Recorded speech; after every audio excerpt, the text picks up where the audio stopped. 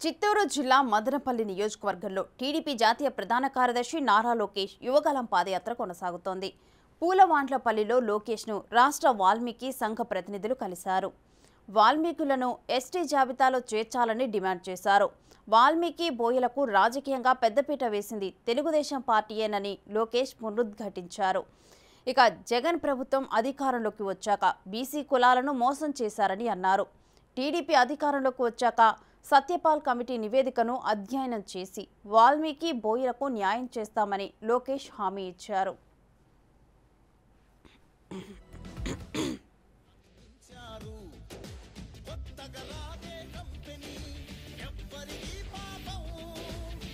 సామాన్య ప్రజల బ్రతుకులో చీకట్లు తరిమి వేయగా జన్మిస్తివ భువనేశ్వరమ్మకు జయమ